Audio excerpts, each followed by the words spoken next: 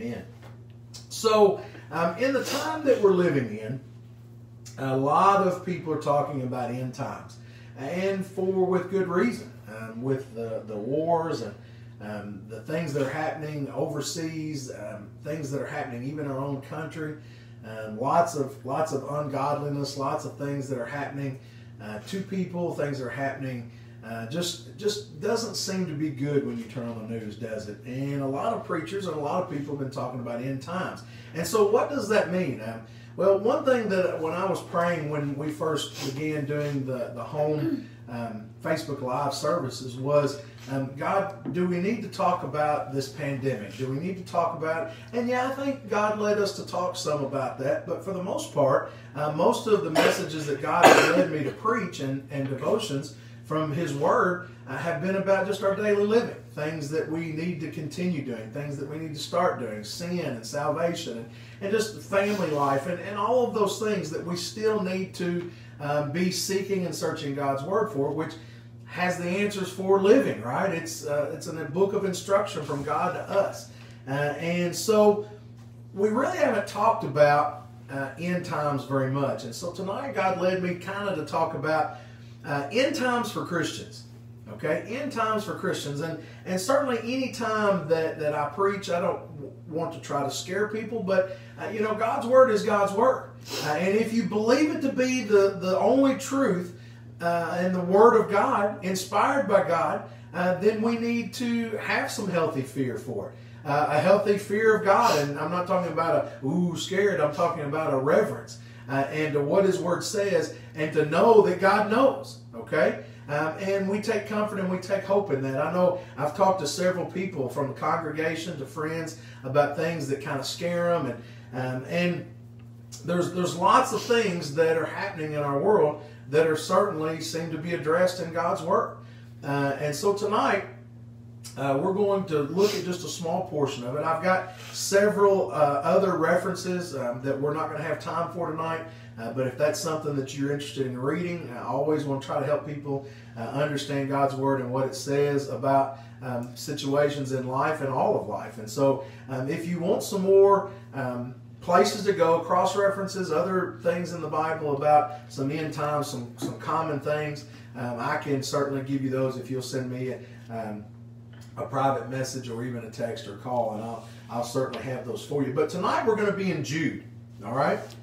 And um, Jude um, is actually a, a, a, book written. It's just it's just one chapter, 24 verses, 25, excuse me, um, and I think it's just 25. Uh, yep. Uh, and Jude was Jesus's half brother. Okay, he was the brother to James. They were half brothers to Jesus, and uh, and uh, there's several other Judes in the Bible, but this is the half brother of Jesus. And and what he is writing about uh, is he's writing about the apostasy of the day. And this is after Jesus, of course, was crucified and, and rose again. Uh, but whatever time this is after that, um, Jude is talking about the falling away uh, of Christians, and um, and you can and you can look back at verse three. And I'm just we're just going to reference that to start with. Um, it's not going to be the main part of scripture, but verse three tells us why he wrote this letter to Christians. Uh, he wrote it to the early church and to early Christians, uh, and this is what was going on. Now, this will kind of this caught my eye uh, when I was studying this. It, verse three says this: "Beloved, when I gave all diligence to write unto you of the common salvation, it was needful for me to write unto you and exhort you that you should earnestly contend for the faith which was once delivered unto the saints."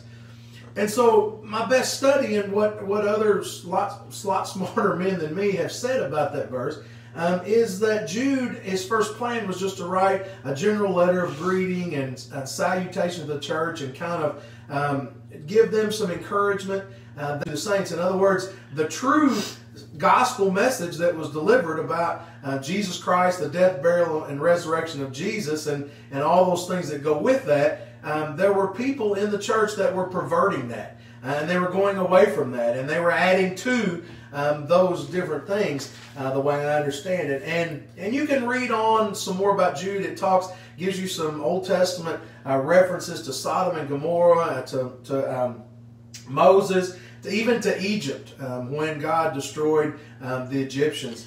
Uh, and of course, we know that uh, that Pharaoh's heart was hardened. Um, so you can you can read all that, but we're going to pick up with verse 16. Okay, and it's really some some interesting reading. Um, and again, talking about end times for the Christian, the Christian needs to know, I think, what the Bible says is going to happen. All right. Now we just we're just at the surface here, folks. It's it's not a very deep discussion. Um, but there's some things that are people are talking about, things that are going on that are true, that are happening, and there's a lot of things that people are just making up. Um, I hate to use the word, uh, you know, false news uh, or fake news because that's been overused so much. Um, but people are saying things that certainly are not scriptural. Um, and it just, maybe they've been doing it all along and we just haven't taken notice, or I haven't taken notice. And so um, we pick up with verse 16. Um, and, and he's ending talking about some of that Old Testament stuff uh, with what they're seeing. Okay? Um, you can go back to verse 4 and talk about how uh, that men and uh, teachers had crept into the to the temple and the teachings were ungodly. And again, and he talks about the judgment that's going to be on those in verse 15. But this is what verse 16 says. Read with me if you have your Bibles. These are murmurers, complainers, uh, walking after their own lusts and their mouth speaketh great swelling words, having men's persons in admiration because of advantage. In other words, people were, were boasting and talking and trying to lead, and, and they were telling people what they wanted to hear for their own gain. Okay, now I, I know you, might scorn me for this, but there's some people out there, and you see them on TV and you see them on social media. They're out there talking, and they're talking loud about whatever it is that they're passionate about, uh, and it's only really for their own gain. Okay, it's not for the glory of God. It's not scriptural. The Bible calls it ungodly, if you want to read verse 15, uh, and those ungodly actions. And, and that's kind of some of the things that are happening now in the church. Um, we've got people that are divisive, and we're going to talk about that word uh, and how the Bible says there's not supposed to be any schism or division uh, in the body. Um, but these people that are murmurers, they're complainers. They're talking about uh, how things should be different, how uh, we should follow this, or we should listen to that, or we should let go of this, or we should latch on to that, and and and how again this is not uh, good change. Um, it's it's things that are unscriptural and ungodly. Okay, in the church and in the world, and what they were believing that was not scriptural. Okay, and so this is. Let's pick up verse seventeen now. But beloved talking to the Christians here because you know that that word beloved means uh, to those people who follow Christ. But beloved, remember ye the words which were spoken before of the apostles of our Lord Jesus Christ. Kind of a regrounding. Okay? Do you think you and I as Christians we need to be regrounded in some things? Absolutely. We absolutely do need that. And the regrounding comes from restudying and rehashing and repraying over God's Word and letting it speak to us about the truths that maybe we learned years ago and had forgotten, or maybe we've let uh, social media creep in, or somebody else's opinion creep in that's not godly. So again, here we're, we're going to remind you of some things Jude says. Okay, some things that you learn uh, from these godly men uh, about our Lord Jesus Christ. Verse eighteen: How that they told you there should be mockers in the last time Again, there's where you see that word last time, right? Uh, mockers. Mockers are people that uh, scorn the Bible, that talk about how it's not uh, truth and talk about the things in it uh, are out of date or how they're uh, hate speech or how it's uh, just, you know, there's all kinds of mockers and people out there that talk about God as um, not real or talk about Jesus Christ as not the Savior, or talk about anything that goes against what the Word of God says. And, and that's what these mockers are, okay? And so there should be mockers in the last time who should walk after their own ungodly lusts. You know, we live in a world that's the me generation, right? Everybody's out for what they can get. Uh, this one did this to me and I'm getting retribution. Or this one uh, has this and I'm going to get that. Or I'm going to get over this person because they shouldn't have more than me. Or just whatever, whatever the lust may be. Uh, but it says they walk after their own ungodly lust. In other words, things that God says uh, are not important. They go after. Um, and it's these things that uh, lead to sin. Okay? Uh, and so that's what's happening in the last time. The Bible says, Jude says, that's how people are going to be in the last time. Does that sound familiar?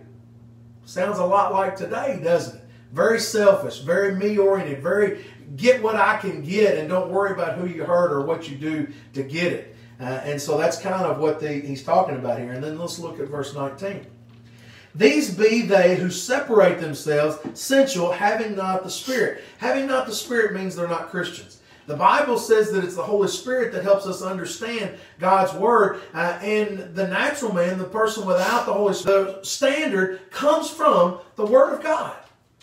Okay? Uh, and so these people that are that are in the church at the time, and this was back, you know, in early church days, okay, and it's kind of similar to today. There's people uh, who se- says separate themselves. In other words, they're divisive. They divide people. Okay, you know, you can't turn on social media and somebody's not trying to separate uh, and divide and throw out uh, just all kinds of things um, that maybe they're true, maybe they're not, but some things, even if they're true, need to be left unsaid. And they just they just do, and, and, and we need to have a, holy the Holy Spirit to guide our tongues and what we say and what we do. Uh, and if it's not based on love and forgiveness, um, then we need to be careful when we speak it. Okay. Uh, and so, but it says they, they have, uh, they, who separate themselves. In other words, they're divisive. And we know uh, that the Bible says that there needs to be uh, no schism in the body. Uh, that word schism means a division. Uh, and so we, we shouldn't have any division uh, in the body of Christ. It should be all based on the Word of God uh, and prayer and talking to Him and letting the Holy Spirit uh, speak to us. Uh, but in last days, you're going to have these kinds of people not only out in the world, but in the church. um, and so that makes me think, you know, that um, I used a, a, an example one time about how water. Um, water gets in everywhere, doesn't it? I know my dad, he um, has this shop that he built and he added it on to an old shop and, and he's always uh, had problems off and on with the roof leaking. I mean, he never could find the leak and I mean, he would tar that thing and cover that thing and he would patch that thing and, and never really knew where the leak was coming from, just trying to get at the seams and some of the flashing or the seam points, things like that. And the water would always get in some way, somehow. You know, that's kind of the way the enemy is with the church. You know, water destroys, and certainly when it freezes, it splits, right? Um, it, it, just does that. Even in rock, when water gets in rock, it freezes, it busts the rock, and we know how tough rock is. That's exactly what Satan wants to do in the church. Um, he gets into people, sin, people start sinning instead of confessing sin and, and, and, confessing to one another their sins and talking to God about their sin.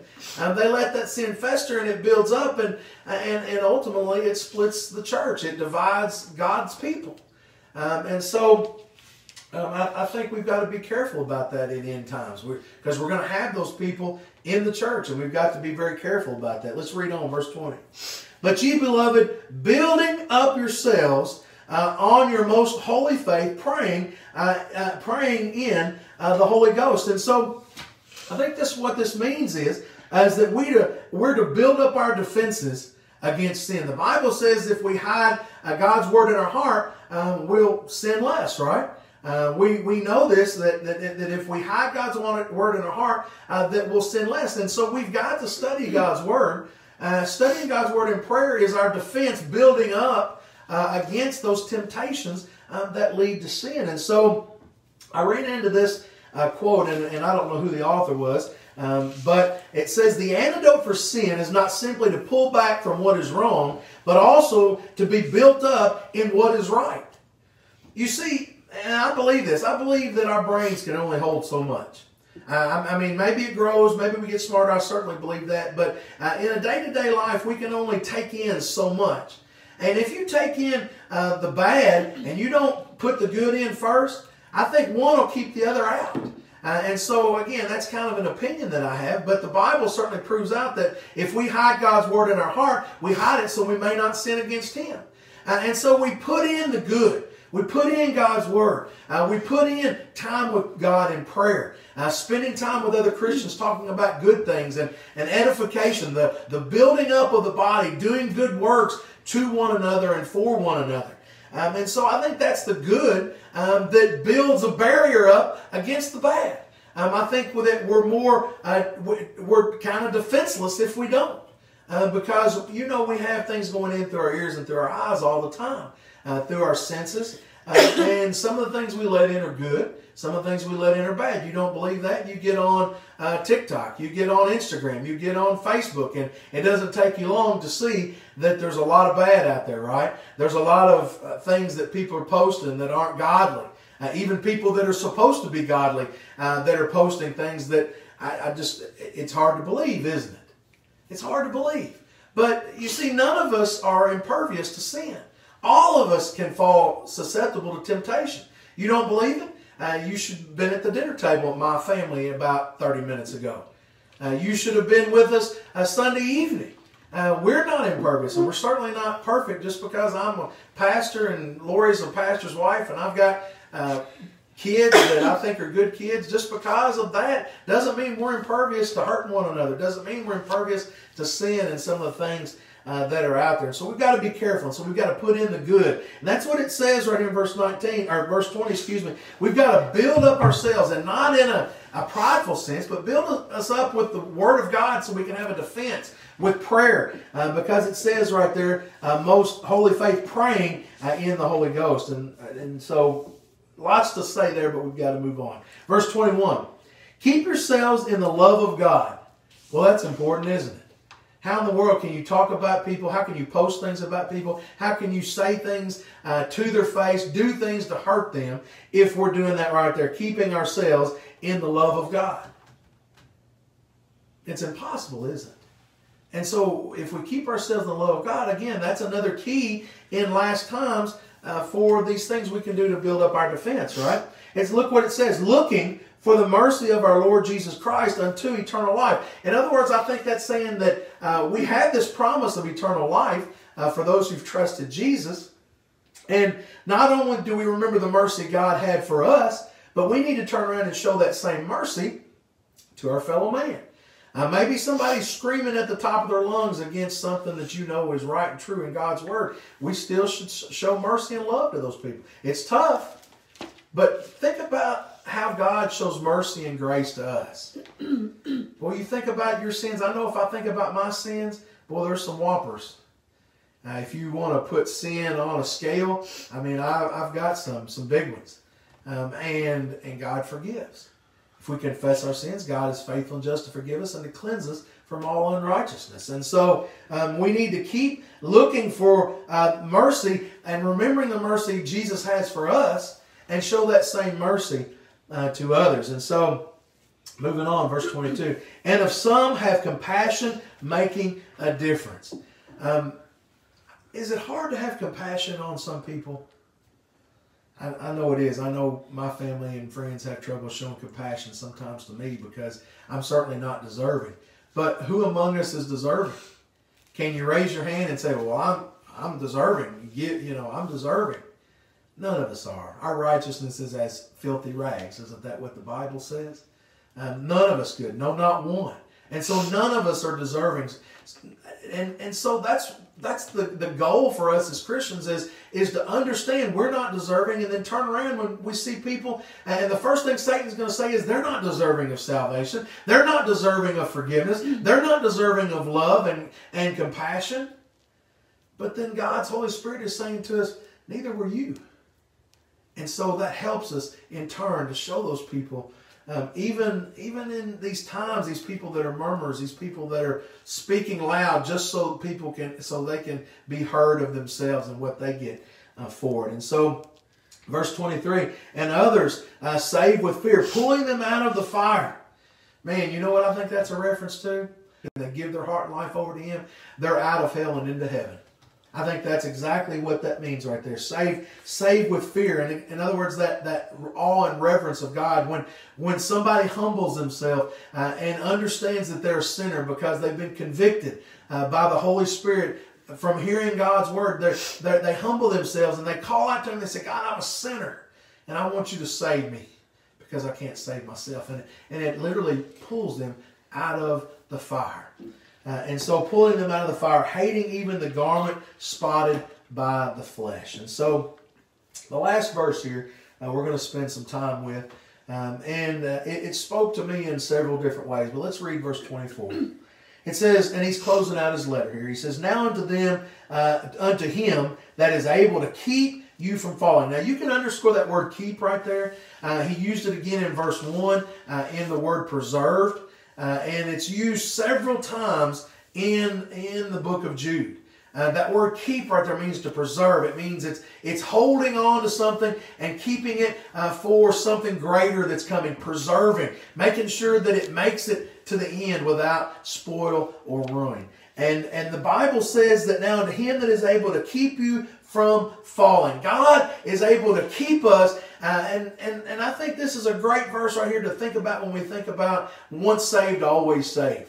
Uh, when you actually turn your heart and life over to Jesus and ask Him to forgive you and to save you from your sins, God is able to keep us. God is able to secure us until when, Brother Andy? Well, until number one, if you die, okay, uh, to be absent from the body, present with the Lord, right? That's a keeping, that's a preserving, that's a promise in God's Word to Christians. But it can also mean for the coming of the Lord, the day of the Lord, the Bible calls it in several different places, when Jesus is going to come back. Uh, and, and he's coming back to claim those uh, who are saved, those who have died in Christ, and those who are still living as Christians. And so there's a promise right there that our salvation is secure. And to keep us from falling and to present you faultless before the presence of his glory with exceeding joy. Now, you want a great study? You study that word faultless right there, okay? Now, the, the song that Lori sang earlier, the, the last verse in it says that, says that we're going to stand faultless before the throne. You know what that word faultless means? It means blameless. It means as sinners as unholy as we are in our flesh, we're going to stand before God as holy, sinless creatures. Not because of anything we've done, because in these in these bodies we're sinful, right? Not because of anything we've done other than following after the Lord Jesus Christ and asking Him to save us and forgiving us of our sins. And it's His blood that cleanses us from all unrighteousness. We're going to be able to stand before God one day, uh, and and I don't know if we'll be on our knees. I don't, I don't know what will happen. I, I picture myself uh, humbly on my face before God tonight. That's what I want to leave you with. Um, do you know uh, when you stand before God, and, and, and we're all going to stand before God, all of us. Are you going to stand faultless? Are you going to stand guilty? We're all guilty. But because of the blood of Jesus, we can stand faultless. And so I hope tonight that you can claim the blood of Jesus. I hope that you understand you're not perfect because I'm certainly not perfect. And, and there's only one perfect man, and his name was Jesus. And it's because of what he did on the cross that you and I can stand before God and be blameless. Thank you once again for joining me. I hope this calms your fears a little bit about uh, last days. Again, feel free to text me or send me a personal message about salvation or end times or any other references that I can help you with. Love everybody.